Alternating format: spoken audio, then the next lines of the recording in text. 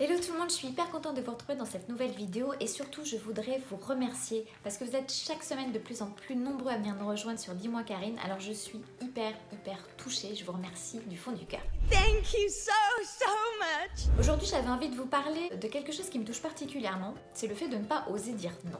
Alors je sais pas comment ça se passe dans votre vie, mais pour moi pendant des années ça a été une vraie galère parce que je n'osais pas dire non.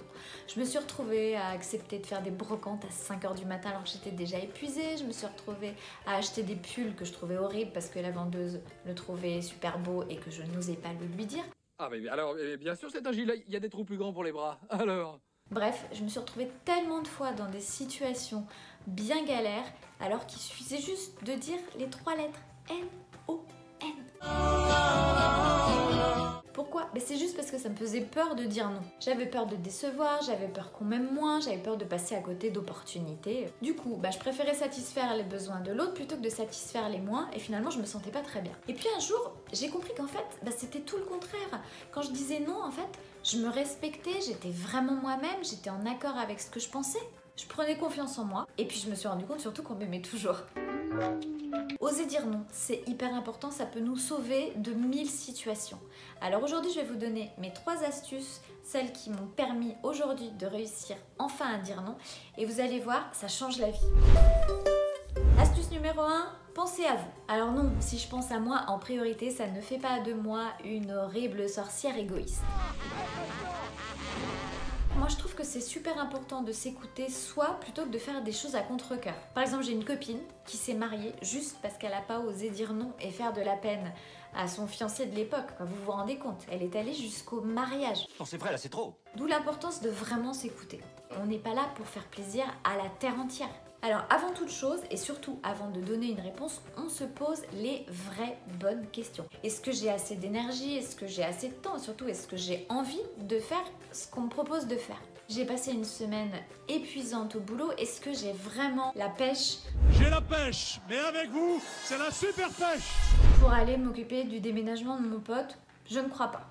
L'idée, c'est pas de dire non pour dire non, c'est surtout de trouver un équilibre entre soi les autres. On peut pas dire oui à tout, on peut pas dire non à tout. Il faut s'écouter et surtout on ne s'impose pas des choses inutiles. Ce qu'il faut arriver à comprendre, c'est qu'en fait, quand je dis non, j'apprends à me préserver. Si je dis non, c'est parce que j'en ai besoin. Astuce numéro 2, pas d'excuses ni de justification. J'ai une copine qui m'a appelé il y a quelques jours pour me demander de garder ses enfants tout le week-end. Sauf que j'ai une semaine éreintante au boulot, je suis crevée et j'ai un dîner à préparer ce week-end. Donc forcément, ça tombe pas très bien.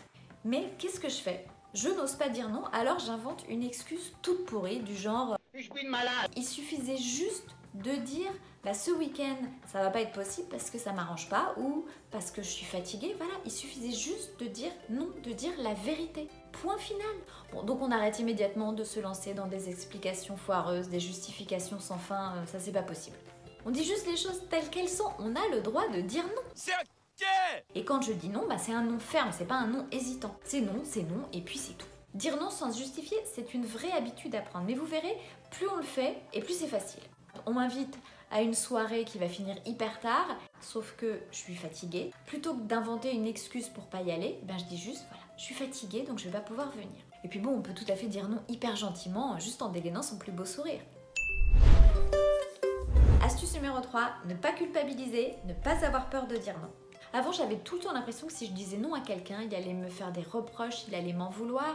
Du coup, ça me stressait, je culpabilisais à mort et j'étais persuadée que j'allais passer pour la méchante de service. En fait, c'est très simple. Si on veut pas culpabiliser, il suffit de savoir pourquoi on dit non. Un manque de temps, un manque d'énergie, de la fatigue. Si je sais pourquoi je dis non et que je m'y tiens, en fait, je suis en accord avec moi-même et en accord avec mon nom. Bon, on arrête aussi de culpabiliser parce que 90% des gens accepteront votre nom sans problème.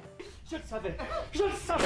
Ben, les 10% restants, c'est peut-être des gens égocentriques, manipulateurs ou toxiques. Est-ce qu'on a vraiment besoin d'avoir ces gens dans nos vies?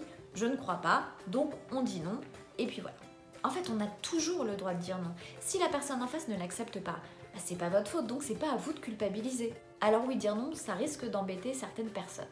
Mais c'est comme ça, c'est la vie. Alors je ne changerai pas la vie, c'est pas la peine de rouspéter. Donc on ne culpabilise pas. Et puis dire non à une personne, c'est pas rejeter la personne, c'est juste rejeter sa proposition. Alors mon petit conseil perso, si vous avez encore du mal à dire non, c'est de vous entraîner dans des situations anodines. Comme ça, une fois que vous aurez pris l'habitude, quand vous vous retrouverez dans des situations un peu plus complexes, vous verrez que ça sera beaucoup plus facile. Alors on n'oublie pas, dire non, ça renforce son estime de soi et ça renforce sa confiance en soi. Alors surtout, on n'hésite plus à dire non. Voilà, j'espère qu'avec ces quelques conseils, à partir de maintenant, vous n'hésiterez plus jamais à dire non. Quant à moi, j'ai hâte de vous retrouver très vite dans une prochaine vidéo. N'hésitez pas à liker cette vidéo si elle vous a plu. N'hésitez pas à laisser un petit commentaire en dessous, je le lirai avec plaisir. N'hésitez pas non plus à vous abonner si ce n'est pas déjà fait. Bah, D'ici là, prenez bien soin de vous, je vous très fort. Ciao, ciao